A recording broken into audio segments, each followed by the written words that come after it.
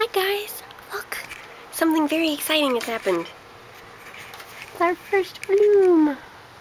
I mean like there's teeny tiny ones on the little pea plant, but this is our lilies.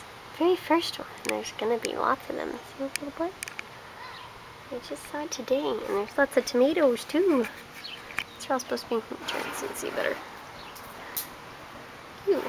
And it's like saying I may have overwatered a little bit again. Alright, look. There's four of them. And then there's more up there. They're kind of on the other side though. There's one growing.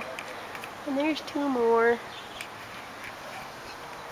We're gonna have cherry tomatoes if nothing else. Some of our other stuff's kind of dying.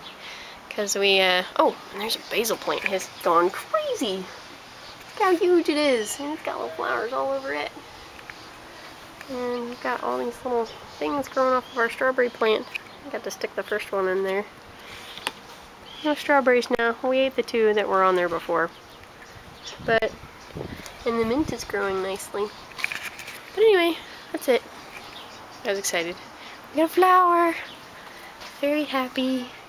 It's very pretty and it's huge. It looks silly in that tiny little pot. But yay! Happy, happy, happy bloom. Bye guys!